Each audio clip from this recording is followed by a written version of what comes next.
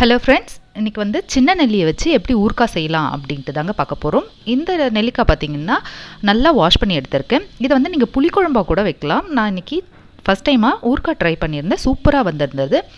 ஒரு கடாயில் தண்ணி எடுத்துக்கிறேன். நீங்கள் இட்லி பாத்திரத்தில் கூட வேக வச்சு எடுத்துக்கலாம். நல்லா வாஷ் பண்ணதை இதில் வச்சு ஒரு டென் டு ஃபிஃப்டீன் மினிட்ஸ் அளவுக்கு வேக வச்சு எடுத்துக்கங்க. ஒரு டென் மினிட்ஸே போதும்.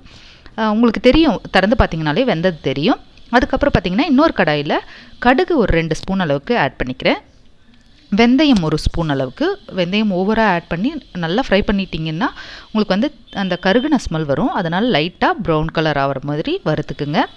இது நல்லா வறுத்துட்ட பிறகு இதை எடுத்து நம்ம பொடி பண்ணி வச்சுக்க போகிறோம் பாருங்கள் இந்த மாதிரி ஸ்டேஜ் ஆகிட்ட பிறகு நம்ம இதை பொடி பண்ணி வச்சுக்கலாம்.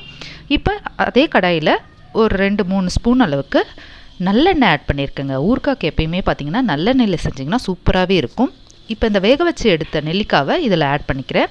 நீங்கள் தண்ணியை வடிச்சிட்டு கூட ஆட் பண்ணலாம். நான் அப்படியே தாங்க ஆட் பண்ணேன். பட் அது வந்து சூடான தண்ணின்றதுனால உங்களுக்கு கெடாது. இது பார்த்திங்கன்னா காஷ்மீரி மிளகா இருக்கு இல்லைங்களா? அதை ஆட் பண்ணிக்கிட்டேன். ஒரு ரெண்டு ஸ்பூன் அளவுக்கு.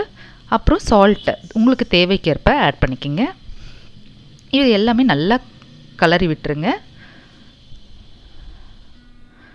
இது எல்லாம் பார்த்திங்கன்னா நல்லா இதில் வந்து நல்லா ஊறிடுச்சுனாலே இந்த எல்லா மசாலாவும் சக் பண்ணிக்கும்.